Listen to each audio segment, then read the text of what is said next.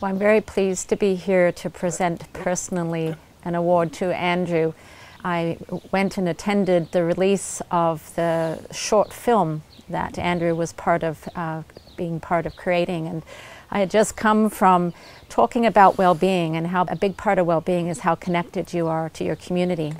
And we talked about social connectivity and physical connectivity. And I learned a big lesson about connectivity from Andrew and the film. And so it's my honor to, to present him with a Mayor's Award today.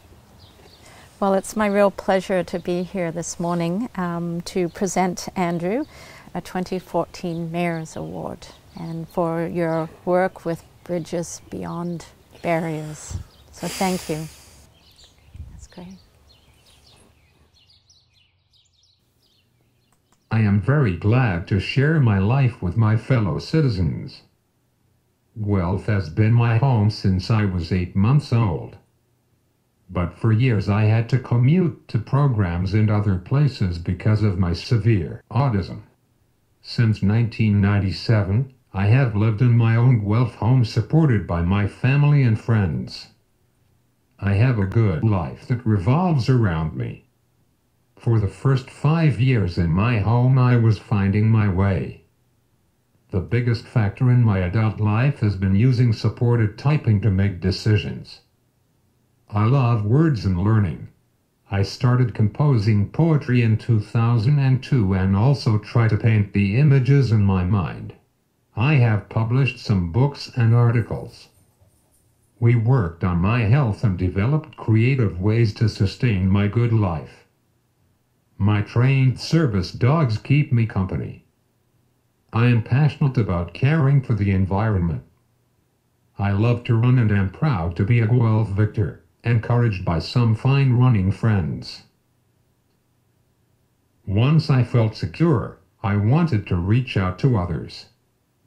We have shared my experience about growing into my home with other families and circles of friends. From early 2004 I invited other adults who cannot speak with their voices to meet in Guelph. We call ourselves Bridges Over Barriers.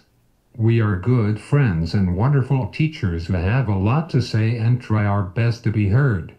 Our gatherings provide respectful space for true expression of our feelings and open, honest communication. We published a documentary film and book in 2010, in our own words. The filmmaker who worked with us was inspired to propose a short dramatic film based on our words and insights. Holding in the Storm, My Life with Autism was launched in March 2014. I hope the movie helps people understand what an autistic person might be feeling. I hope it leads to great discussion among neurotypical as well as autistic people. My life is a success story. The point is that people listen and collaborate with me and I am doing so much with my life. I think my life has meaning because all that I do matters to me. I want people to know that we need meaningful things to do in our lives that we choose and are not chosen by others.